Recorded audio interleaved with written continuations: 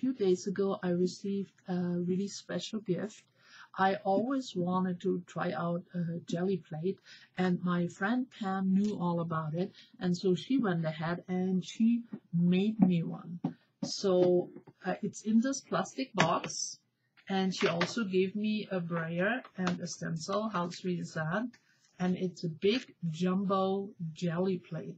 Let's see if I need to put this up a little so you can have a good look. Sorry. Oops. All right. And it's a nice little sign too, Pam made. And look how big it is. Ooh. And it's between uh, two heavy duty plastics and there is also some um, deli paper down under for me to try. Uh, thank you so very much Pam. This is definitely a special gift. By the way, Pam is also one of my Colorado YouTube creator friends and she's a very creative lady and has a really fun channel. You will love it. So please uh, click on the iCard and uh, give her a visit. All right, now I am no expert at Gelli plates. This is the very first time I even owe one or even look at one close up.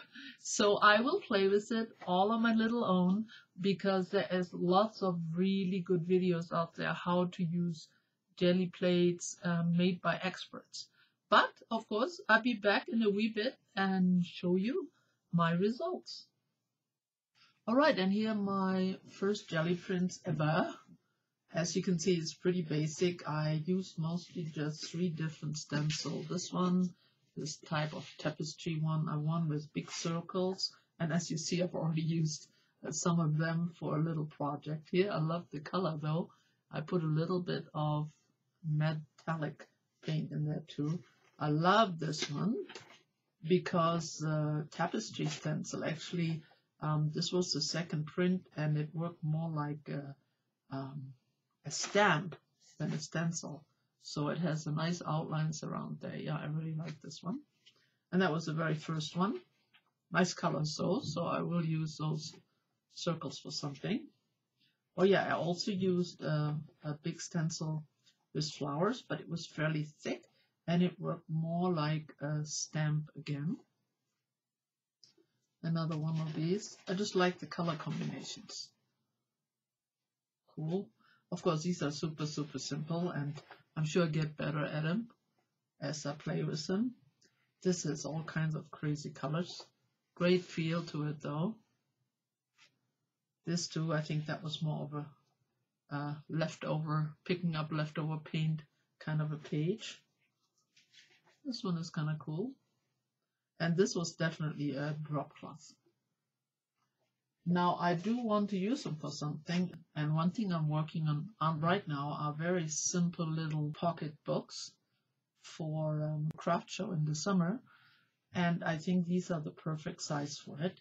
So I will show you how far I got.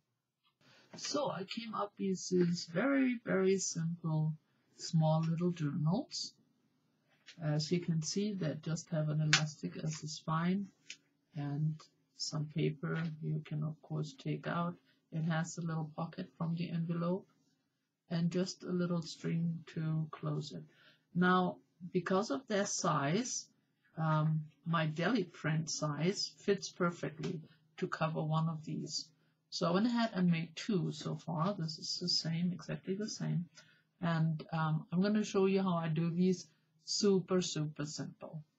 Now, because I am speeding up the process, I will do voiceover for you. As you see, I removed the metal clasp and now I will just attach the paper with simple school glue. I like to apologize here that I wasn't very centered with my workspace under my camera. So sometimes I'm a little bit out of screen, but I think you can uh, see it all pretty well. It's pretty simple. I opted to make a little fold on one side and also a small one on the bottom and then fold the rest of it over.